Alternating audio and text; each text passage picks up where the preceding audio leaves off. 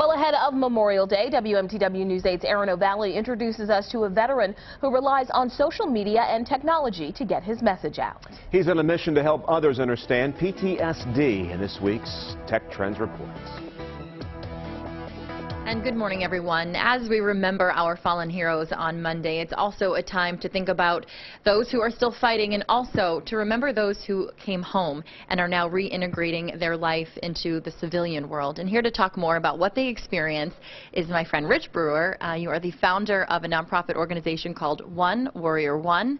Rich, thanks for joining us. And tell us a little bit about um, how this all came about. Well, thanks for having me in, Erin. I certainly appreciate it.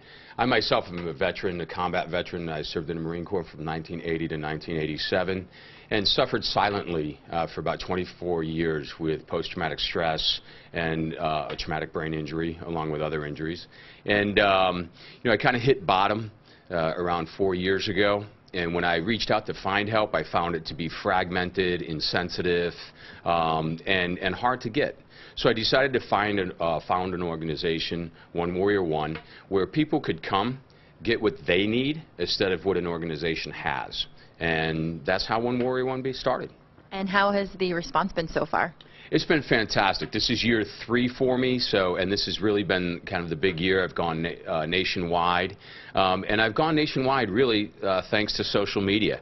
Uh, you know, I'm a young startup uh, nonprofit, not a whole lot of money for marketing. So of course we're on you know YouTube, uh, website, Facebook, Twitter, LinkedIn, you name it, all those sort of things. Yeah, all the above.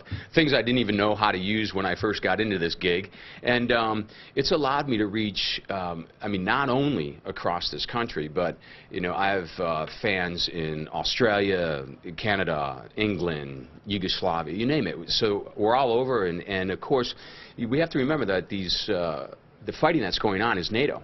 So there's there's there's veterans coming from all over these uh, uh, world, and they've come to my site. They've come to my Facebook page, and, and we've started a dialogue, so it's great. And you are using social media now to promote some Cocktails for a Cause events. Tell us a little bit about uh, where people can find more information and uh, maybe some of these events.